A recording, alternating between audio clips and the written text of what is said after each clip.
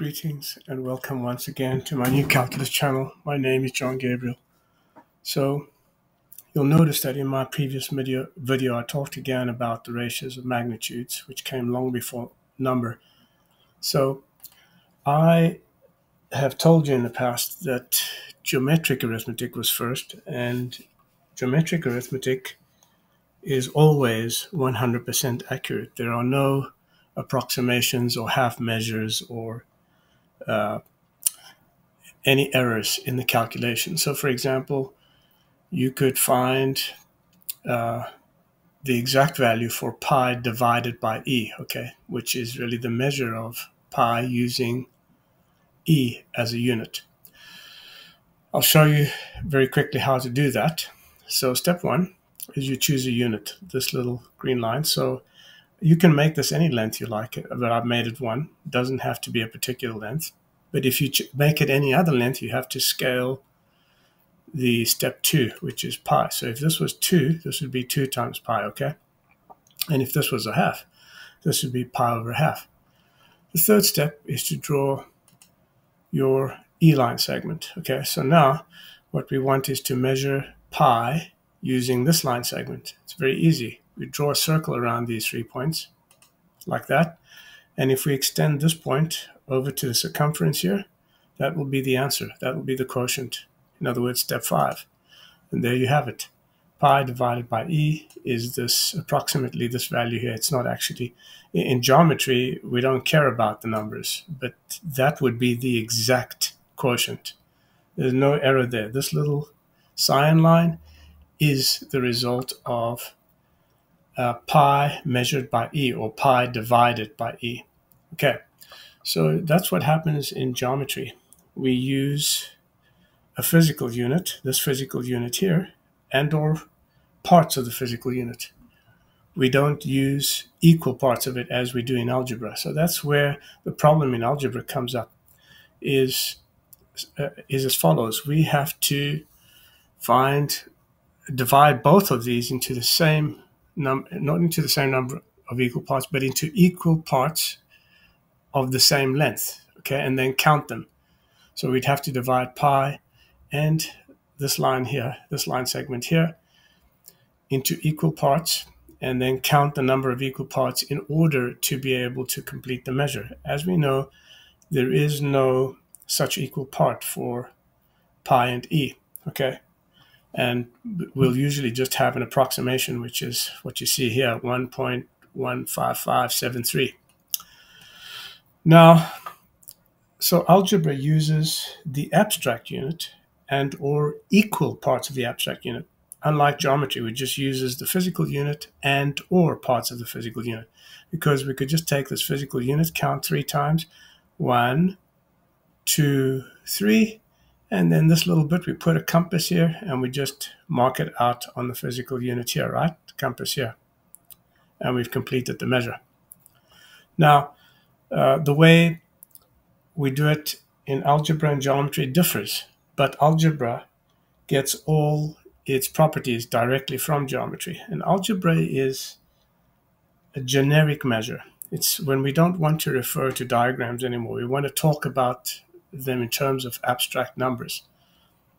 So that's why algebra uses the abstract unit. Now, these lines here don't have to be perpendicular as long as they cross and these four endpoints here are on the circumference of the circle, and these lines must be straight. It doesn't matter how they are inclined.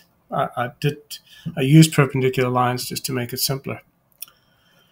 But I think you understand that you don't have to do that now. So this is a way you can uh, say pi divided by, if you wanted to say this line segment here multiplied by this line segment, then the result would be pi, okay? and you would have done this step slightly differently. You would have drawn the unit, then this line segment, then this line segment, put a circle around these three points, extend it, and that would be pi. Okay. And likewise, you could say pi divided by this line segment, this blue line segment here, will give you the number e. Pi divided by pi over e is e. So this is how we got numbers, by the way this so these these were not numbers in the beginning. They were they were magnitudes. We, we think of these. We don't even associate numbers with these lines because numbers associated with these lines in geometry is meaningless. Okay, we take the lens and we just do the arithmetic operation, and it's always 100% accurate, unlike uh, algebra. And of course, to find the difference, let's say, of this line segment here and this, we would put a compass on the blue one and then subtract it from the pink one or whatever color this is, and the remaining result would be the difference. Okay, and if we wanted to add one here, we just append it here, and that would be the the sum. So what I'm showing you here now is that in geometry we have 100% precision. And this does not occur in algebra. So this is how we got number. We got number by trying to measure uh, one line segment with another. Now, if, if you don't have this diagram in front of you, how would you explain to me this quotient, pi over e? You wouldn't be able to explain it if you didn't do exactly what I told you right now. You'd have to try and find an equal measure that goes into pi and e. And of course, there is no such measure, so you approximate. If you take one, then it'll be 1, 2, 0.7 or approximately 2.7. If you take one here, it'll be one, two, three, and a little bit, right? And here it'll just be one, and then this little bit here, which is 0.15573. So uh, that's the gist of the whole story behind how you got number. It's it's inevitably and intricately tied in with the measure of ratios. Okay, so normally we wouldn't even write measure of pi e like this in geometry. We would just write uh, this line. Let's get a pen. So we would write this this line here like that and then uh, E like this, right? Something like that, and put the, the ratio thing in the middle. Okay, that's what we would do in geometry. We don't even talk about the algebraic measure because algebra uses the abstract unit. Okay, so I hope that's cleared up some things for many people who are still struggling with these concepts of course, your math professors don't understand these things, nor do your teachers. That's why you don't know them. I'll place a link to a very short video that you should watch, which demonstrates all these things beautifully and gives you a little bit more information. If you're not already a subscriber, become one. Click like, tell your friends about it, tell your parents, tell everyone you know, and follow me on academia.edu. My name is John Gabriel. Till next time, goodbye.